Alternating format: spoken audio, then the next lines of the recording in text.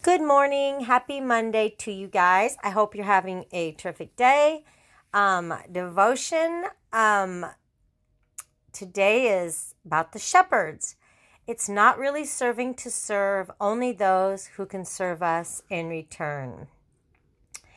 The shepherds, shepherds were the lowest of the low class. In fact, shepherds were deemed so untrustworthy by society they could not even serve as a witness in court.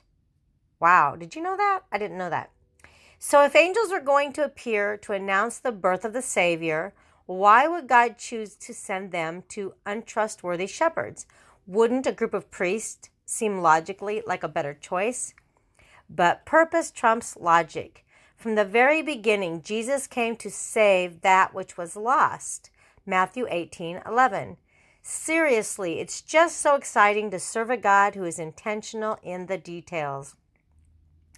First, the shepherds ran to Jesus. Then they shared with others what they had experienced, and people paid attention. There must have been a drastic difference in these outcasts of society after they encountered Jesus. The Christian life is inconvenient, full of detours, and rarely simple.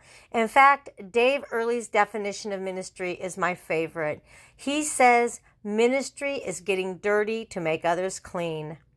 In other words, genuine service is rooted in what we do for others, not what others can do for us. So let's ask ourselves this What have I done lately that serves another where I did not get anything in return? After all, it's not really serving to serve only those who can serve us in return.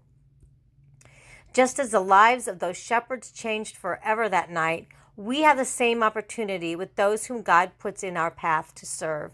As Christ followers, we have the opportunity to be radically different in the work world.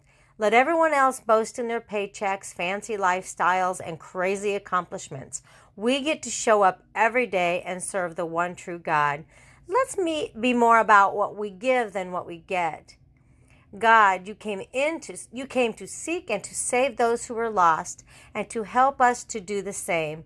It's so easy to get caught up in the business way of life, but God protect us from that. Give us your eyes to see those who need you and your heart to serve them.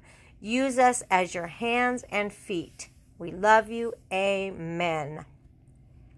I hope this has helped somebody today and spoke to somebody's heart. I know it woke me up a little. And this was coming from the 10 days of Christmas truths. I think I have one more day of this. Um, I'm not sure, but I think tomorrow might be the last day of this devotion. But God bless you guys. And I hope you have a wonderful, wonderful day. Um, let's try to serve someone and if you're a mother, you probably are thinking, I serve people every day, all day. And you are right, you do. all right, guys. I love you. God bless you. Have a wonderful day. Bye bye.